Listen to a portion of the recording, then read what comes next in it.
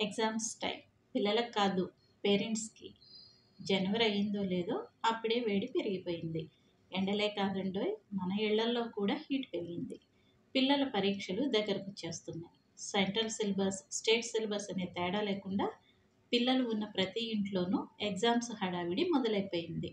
మరీ ముఖ్యంగా తొమ్మిది పది పదకొండు పన్నెండు లేదా inter first year second year చదువుతున్న పిల్లలున్న ఇళ్ళల్లో అయితే పెద్దవాళ్ళు పిల్లల టెంపరేచర్ టెంపర్ రెండు తారాస్థాయికి చేరుతున్నాయి.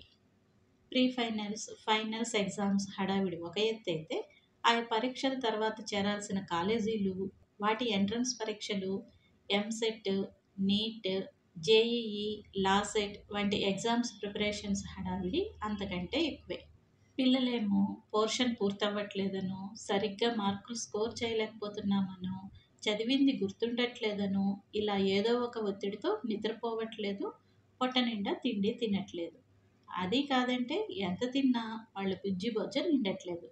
దానికి తోడు స్కూల్లోనూ ట్యూషన్స్లోనూ ఇంటా బయట కనిపించిన ప్రతి ఒక్కళ్ళు ఈ ఇయర్ టెన్త్ జాగ్రత్త అని చేసే హెచ్చరికలు విని విని వాళ్ళ చెవులు చాటల్లా అయిపోతున్నాయి. పోనీ ఫ్రెండ్స్తో కాస్త సరదాగా మాట్లాడదామా అంటే వాళ్ళది ఇదే పరిస్థితి. దాంతో ఎవరితోనూ ఏమీ చెప్పుకోలేరు.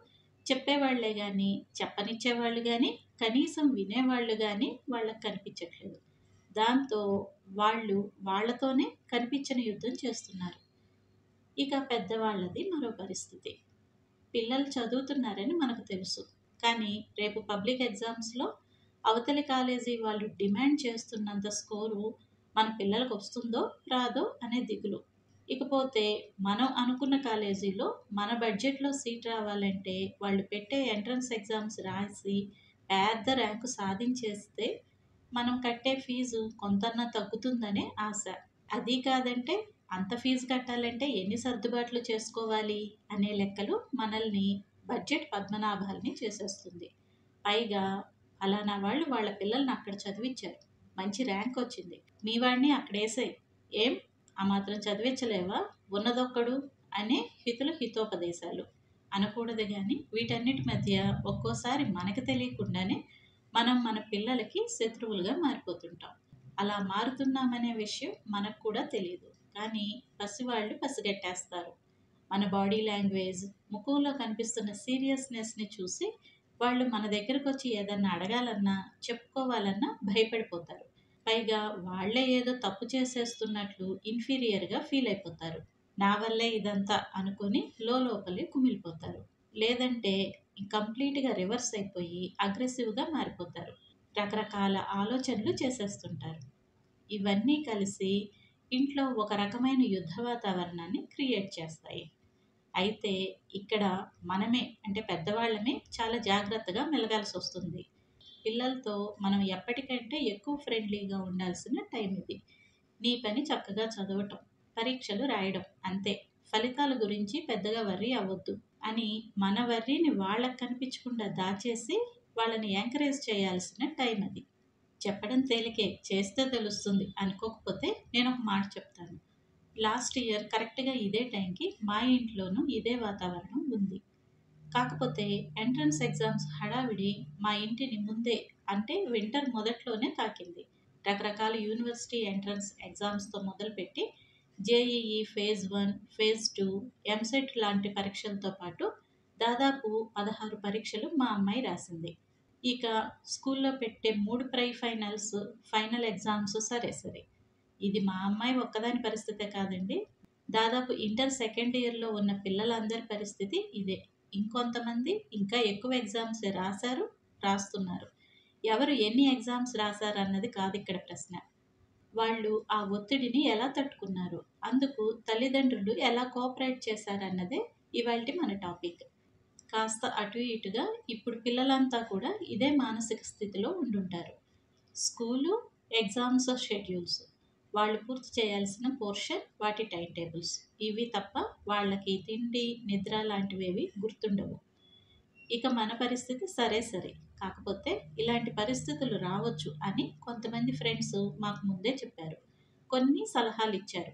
ఎగ్జామ్స్ టైంలో వాళ్ళ పిల్లలతో వాళ్ళు ఫేస్ చేసిన పరిస్థితులు తీసుకోవాల్సిన జాగ్రత్తలు ప్లానింగ్ గురించి ముందే కొన్ని హెచ్చరికలు చేశారు. వాటితో పాటు మేము ఫాలో అయిన కొన్ని టిప్స్ని ఈరోజు మీతో షేర్ చేసుకోవాలనుకుంటున్నాను. కాకపోతే అన్ని విషయాల్ని ఒకేసారి చెప్తే వీడియో లెంగ్త్ ఎక్కువ అవుతుంది అందుకని అందరికీ వీలుగా ఉండేలా ఒక్కో టాపిక్తో ఒక్కో వీడియో చేయాలనుకుంటున్నాను నమస్తే నేను Jyothirmayi. Welcome to moms magical kitchen.